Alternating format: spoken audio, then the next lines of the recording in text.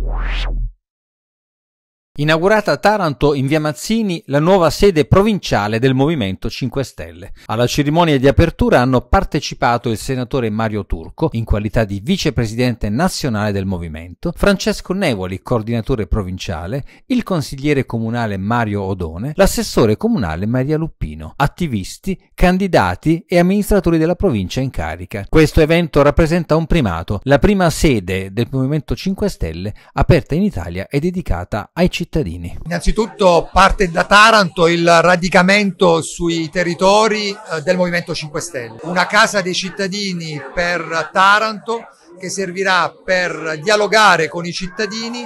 Iniziamo questo percorso proprio da Taranto, la mia città, al fine di favorire quella partecipazione dei cittadini alla politica e alla tutela dei, dei diritti civili e soprattutto alla tutela dei beni comuni. A Taranto noi ci siamo, iniziamo questo percorso per costruire un futuro diverso alla città di Taranto.